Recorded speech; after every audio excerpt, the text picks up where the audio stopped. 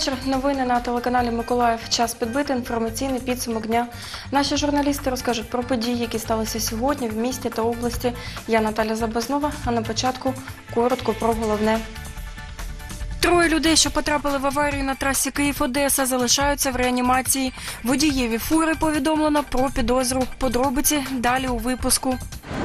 Підприємство Дніпроазот відновили роботу цехів хлорної групи. Чи бути очищені воді у Миколаєві, розкажуть наші журналісти. Про ці та інші події більш докладно. Дев'ятеро травмованих у вчорашньому ДТП поблизу селища міського типу Криве озеро вже перебувають на батьківщині у місті Гомель, Білорусь. Троє залишаються у реанімаційних відділеннях різних лікарень.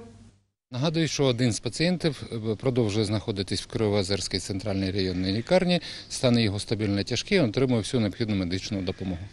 Вчора е, бригадою екстреної медкої м, екстра. Вчора бригадою швидкої екстреної медичної допомоги двох пацієнтів доставлено у обласний центр у місто Миколаїв. Е, Жінка доставлена в обласну клінічну лікарню, а молодий чоловік доставлено у е, реанімаційне відділення лікарні швидкої медичної допомоги.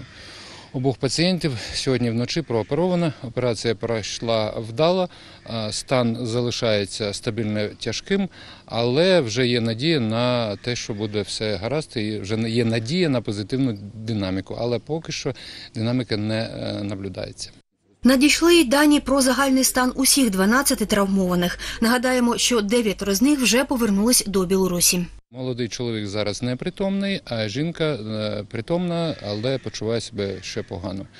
Е, Ще хочу сказати, що я мав е, можливість спілкуватися з е, білоруською філією Радіо Свобода. Вони питали мене, як стан пацієнтів, і вони просили передати миколаївським лікарям дуже велику подяку, бо усі пацієнти, 9 чоловік, які зараз знаходяться в лікарні міста Гомеля, почувають себе добре. Вони дякують лікарям за своєчасну і якісну медичну допомогу.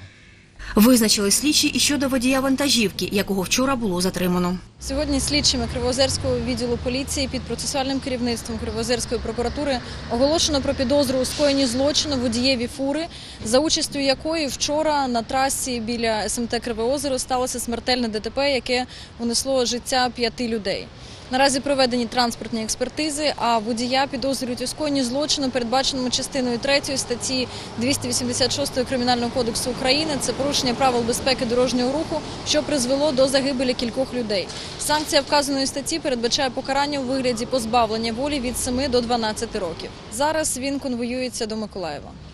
Близько п'ятої ранку на трасі Одеса Київ поблизу селища міського типу Криве озеро сталася аварія. Рейсовий автобус Volkswagen з білоруською реєстрацією в'їхав у вантажівку. Рейсовий автобус їхав за маршрутом Одеса Гомель. В салоні було 16 пасажирів та водій. Маршрутка зіткнулася з вантажівкою, яка стояла з правого боку проїжджої частини. Зіткнення було такої сили, що водій маршрутки та четверо пасажирів загинули на місці. Олена Міщенко, Андрій Заворотній, телевізійні новини Миколаївщини. В Україні через проблеми з постачальником виник дефіцит основного реагенту для очищення питної води хлору. Сталося це через зупинку роботи підприємства Дніпроазот. Не оминула ця проблема і Миколаїв. У міського комунального підприємства Миколаївводоканал є запас рідкого хлору, якого має вистачити на тиждень.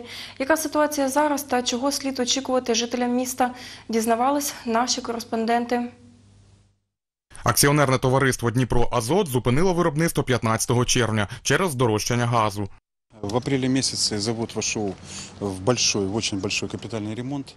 У квітні місяці завод увійшов у дуже великий капітальний ремонт. На сотні мільйонів гривень замінили обладнання основного. І коли почали виходити із капремонту у червні місяці, економічна ситуація, яка була створена злочинним шляхом Нафтогазу, вони підняли на тиху вартість газу на 2 тисячі гривень за тисячу кубометрів. Вона стала непідйомною для підприємства. При тій праці, яка була, були б збитки у місяць 103 мільйони. Ніхто б з цим впоратись би не зміг. Тому підприємство не було запущене. Воно не зупинилось повністю. Були зупинені цехи хлороорганічної групи, тому що вони можуть працювати тільки у зв'язці, коли працює все виробництво. Они могут работать, они могут работать только в одной связке, когда работает все производство. Генеральний директор міського комунального підприємства Миколаїв Водоканал Борис Дуденко наявність проблем підтвердив. Проблема е, з хлором, е, з поставками рідкого хлору це проблема не, не Миколаєводоканала, це проблема всієї України. Тих підприємств, які користуються е, в знезараженні питної води рідким хлором. Близько місяця назад зупинив свою роботу Дніпроазот. Це єдиний виробник рідкого хлору в Україні.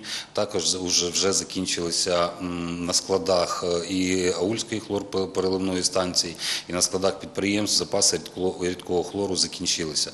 Тому це є проблема, і вона вирішується е, на і на рівні держави, і на рівні асоціації водоканалів, і на місцях е, у виробників.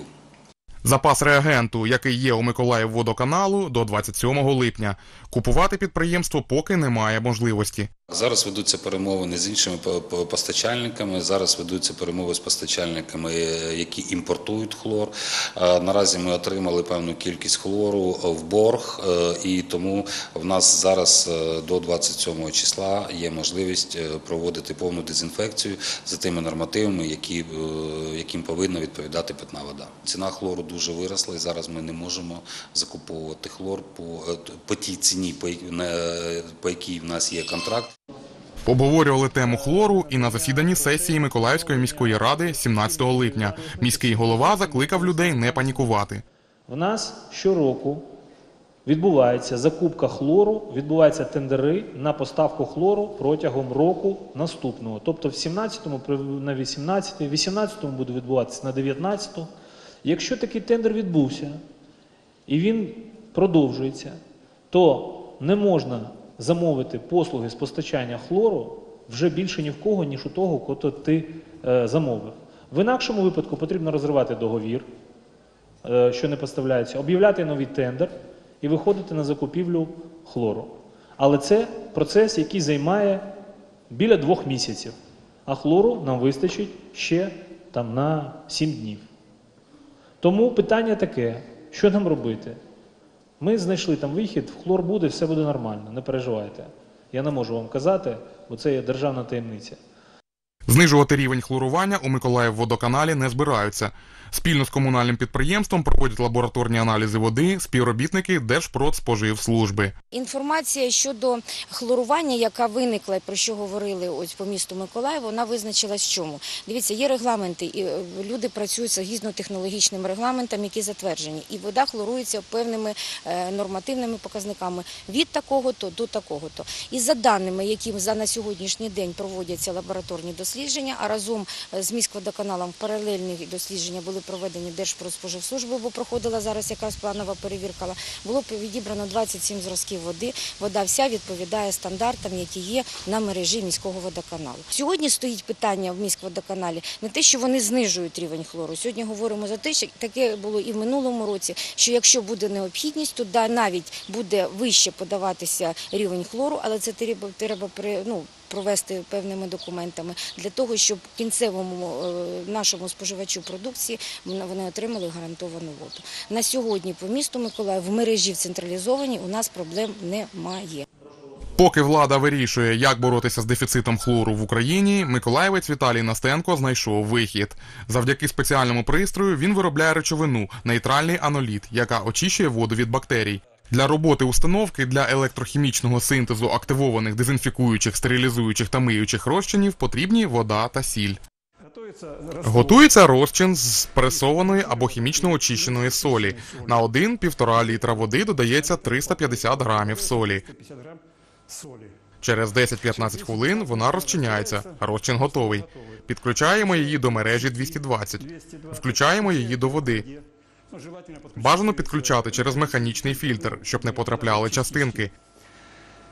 Підключається скидання, так званої в народі кажуть живої води під назвою католіт. І отримують розчин аноліт нейтральний. Усе. Він зберігається довго, якщо його приготувати. Принцип роботи полягає в чому? Що вам залишається тільки відрегулювати подачу води. Загоряється лампочка, і він вже працює. 20 липня у прес-службі акціонерного товариства Дніпро Азот повідомили, підприємство відновило роботу цехів хлорної групи. Завершені підготовчі роботи. Очікується виготовлення першої партії продукції. Володимир Степанов, Світлана Кльосова, Олександр Попов, Андрій Заворотній. Телевізійні новини Миколаївщини. Депутатська робоча група вирішуватиме доцільність встановлення дренажної системи у селищі Горького, будівництво якої з ініціативи частини місцевих жителів тимчасово припинили. Чим аргументують свої за та проти обидві сторони конфлікту, дивіться далі. На сесії Миколаївської міської ради до депутатів звернувся голова селищної ради Василь Предвичний з проханням припинити будівництво дренажної системи на двох вулицях населеного пункту Боревісників та Соколиної. С 2012 года, как считают местные жители, уже много чего изменилось. З 2012 року, як вважають місцеві жителі, вони вважають, що підтоплення як такого немає, і ця дренажна система їм не потрібна. Я розумію і жителів, оскільки вулиці вузькі на селищі Горького. Працює важка техніка. Звісно, розривають. Там копають траншеї, укладають дренажну трубу, роблять колодязі. Звісно, це створює для жителів масу незручностей. В 2017 году, в декабре месяце по улице Буревестников была проложена дренажная система. В 2017 році, в грудні, по вулиці Буревісників була прокладена дренажна система. Вся вулиця була засипана глиною, і обіцяли із настанням тепла привести до ладу вулицю, але наразі по дорозі не пройти, не проїхати через те, що глина просіла в дренажну яму, колодязі вищі рівня дренажного покриття. Проект дренажної системи для цього селища розробили ще в 2012 році. На той час, за словами місцевих жителів, через високий рівень підземних вод на вулицях, в підвалах, на подвір'ях були потопи. В деяких приватних володіннях ця проблема актуальна і досі. Була вода стояла. У підвалі вода була. Засипали пол, підвала такого силікатним кирпичом обложеним. А зараз вони там щось керують, непонятно чого. Якщо государство дало план, якщо рішили, проекти є, чого це должен председатель посілкома і всі жителі, яким не угодно, керувати. І валяться все. Поки що ми роботи призупинили, щоб попередити нещасні випадки, тому що жителі вже готові були лягати під техніку важку. Тому ми роботи поки що призупинили. На цих двох вулицях живуть здебільшого люди похилого віку. Більшість за будівництво дренажної системи, але є побоювання. Не хочуть, щоб болото було. Не хочуть, щоб болото було. Воно б якби одразу за один день зробили. Або за тиждень хоча б. А ви ж знаєте, як у нас система грошей немає і припиняються. Треба так, щоб гроші були, щоб одразу зробити усе за тиждень і все, як це робиться взагалі. На сесії міської ради, обговорюючи питання дренажної системи, депутати висували різні пропозиції.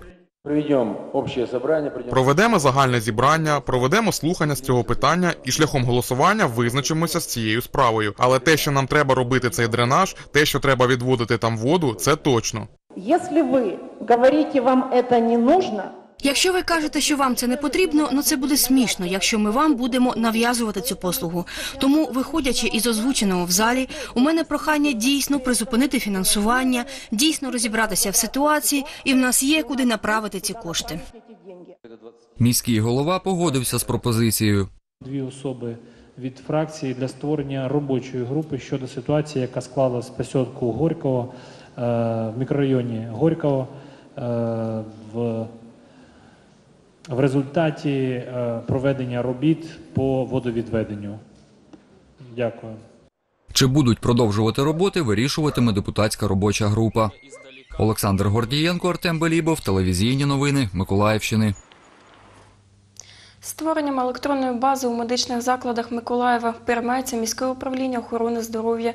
11 провайдерів, які займаються медичними інформаційними системами та зареєстровані в Міністерстві охорони здоров'я України, представили головним лікарям нашого міста свої розробки. Необхідно цю програму впроваджувати на другому рівні, це стаціонари всі міста. Але ця програма повинна відповідати всім необхідним вимогам, які є на сьогоднішній день. Вона повинна захищати персональні дані е, досить так е, серйозно. Вона повинна бути комунікативною з тими програмами, які будуть встановлені в обласних закладах, в усіх міських закладах, в закладах обласних медицини катастроф для того, щоб лікар, який, наприклад, е, має заключену декларацію з пацієнтом, міг е, е, вчасно мати інформацію, якщо до цього пацієнта ви- виїхала швидка допомога.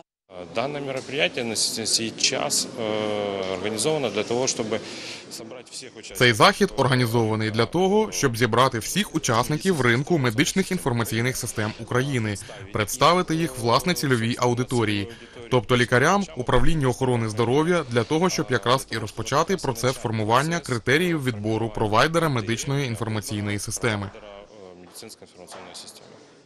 Наше бажання долучитися до світової спільноти е, надання цивілізованих медичних послуг з, з головною ідеєю для того, щоб лікарі працювали легше, а пацієнти відчували себе е, людьми і почували себе в цивілізованій країні в Україні. Представники фірм, які розробили і обслуговують електронні медичні бази, запропонували свої презентації та відповідали на запитання головних лікарів. В Миколаївській лікарні швидкої медичної допомоги створювати базу електронних медичних карток почали ще у 2008 році. Яких ж результатів досягли місцеві лікарі? на загальних зборах лікарні вирішили, що ми е, потребуємо декілька е, поліпшень нашої роботи у вигляді електронної історії хвороби. Ця електронна історія хвороби була е, в програмі Тердеп. Е, На ті час це, було, ну, це була досить передова програма. Вона Мало того, що вона була для е, стаціонара, вона передбачала ще і поліклінічну роботу, досвід статистичної звітності і е, бухгалтерського обліку. Тому е, була нами ізучена досить е, так ну, глибоко вивчена е, досвід роботи ожогового центру міста Києва, де застосувалася ця, е, ця програма. І ми придбали за благодійні внески лікарні за, на, мою пам'ять, десь біля 6 е, або 7 тисяч гривень цю програму. Її встановили на 30 робочих місць. А що е, воно нам е, полегшує? Яку частину роботи? Ми е, передбачаємо те, що досить багато бумаг має бути в історії хвороби написано від руки хірурга або лікуючого лікаря, адміністрації теж. Але на наш запит Міністерства охорони здоров'я, що які бумаги мають залишитися в тому віді, які вони є, ми отримали відповідь, що це ну, десь 75% всього документообороту. Е, ну, питання з боку лікуючих лікарів, на яких полагається ця система в роботі, бо якщо її не наводняти інформацією, вона буде е, ну, нездорова. У приймальному відділенні електронний документообіг запровадили. Бо ми маємо вести журнали не тільки обліку е, хворих, які потрапляють до нашої лікарні, але і е, журнали е, кримінальних випадків, випадків дорожньо-транспортних пригод і так далі. Тому досить, досить з 2008 року ми ведемо цю роботу з цією системою у приймальному відділенні. Що вона нам, дає? Оперативне е, досить оперативне реагування на е, запитання е, силових структур, був чи не був у нас такий хворий, Е, статистичну звітність за приймальним відділенням, скільки хворих було. Щодо створення єдиної електронної бази медичних карток, лікарі висловлюються за, наголошують на недоліках в тій системі, які їм зараз пропонують. Така система, інформаційна система, е, повинна бути е, не для одного якогось лікувального закладу, а в е, пакеті програм, про які вони казали, регіональному. Так? Тому є, якщо я оберу одну програму, четверта лікарня, перша лікарня та третя лікарня інші програми, то між нами ви е, ну, пам'ятаєте, що вони казали, досить немає е, зрозумілості в поєднанні інформації та використання їх обома сторонами. Е, А якщо це не дві програми, а три-чотири, так це вже, вже ну, це бардак буде. Протоколы взаимодействия. Протоколи взаємодії вони якраз мозом чітко визначені, але функціонал і обсяги системи то вони будуть унікальні для кожного міста, для кожного населеного пункту. Нагадаємо, що обиратимуть миколаївські лікарі серед 11 провайдерів. Олена Міщенко, Олександр Попов, Юлія Кускова, телевізійні новини Миколаївщини.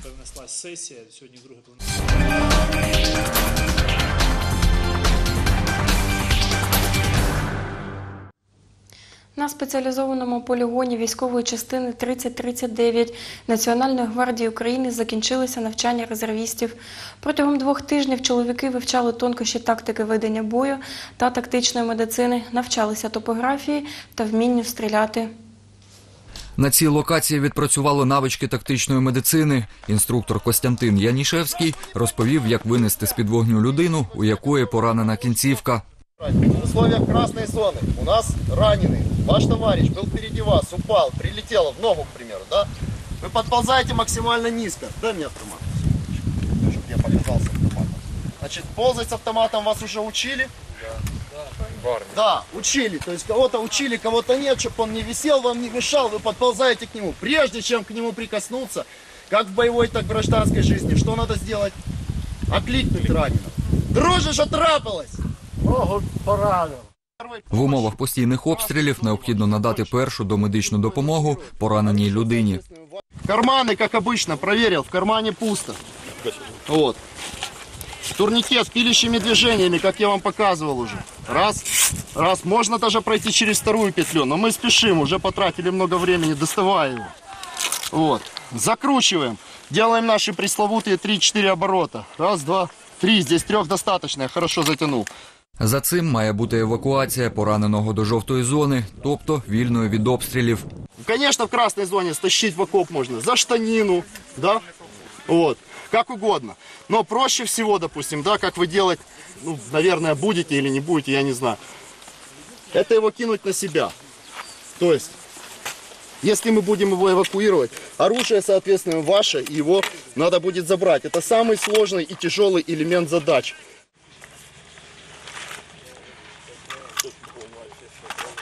Смотрите, я могу сделать вот так. Раз, одну руку его придавить. Вот. И понес. Оскільки найчастіше уражуються саме кінцівки, тут ми маємо якийсь ще бронезахист, але ж е, ніжки, ручки зараз страждають.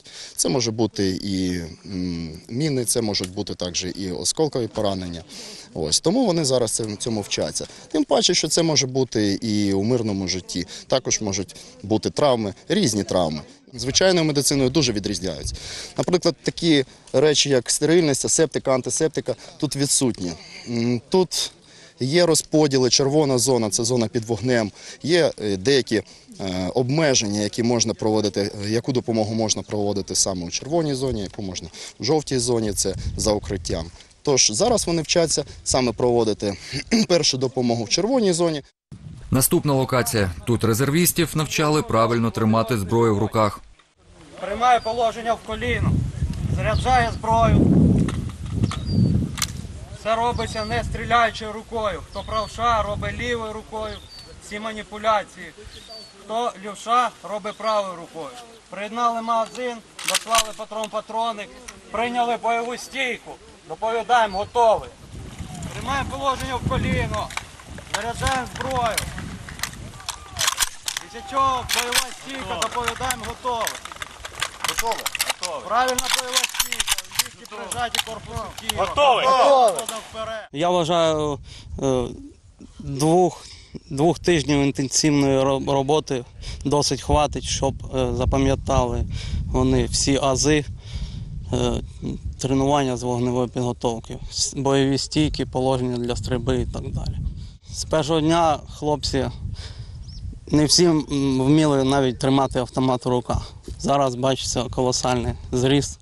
Третя локація поле з-під злаків. Тут інструктор розповів основи тактичної підготовки. В повному обмундируванні резервісти відпрацьовували навички.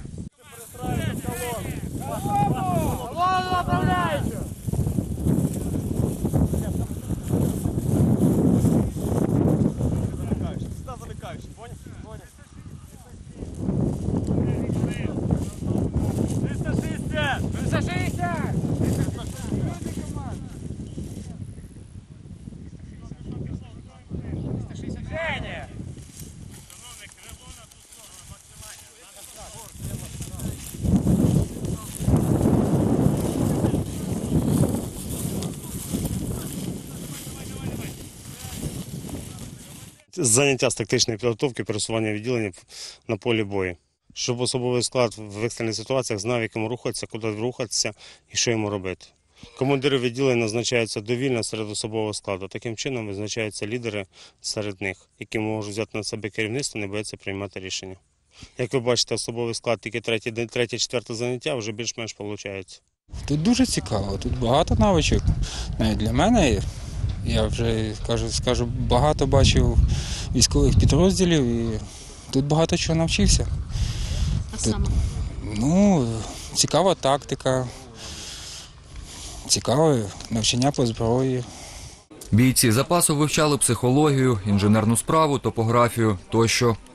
Е, Динаміка безпосередньо спостерігається, тому що на початку хлопці прийшли, хоч і переважна більшість служили в армії, але це було давно. От, ну, всі вони прийшли до нас добровільно, всі вони в цьому були зацікавлені. Це по-перше. По-друге, заняття проводять провідні фахівці, це інструктори е, з центру підготовки місто Золочів. От, фахівці, кожен фахівець своєї справи. Інформацію вони, тематику заняття подають дуже цікаво, дуже збагачено.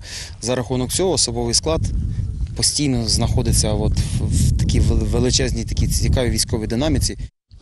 Два тижні 109 бійців резерву віком від 25 до 57 років відточували свої бойові навички в польових умовах.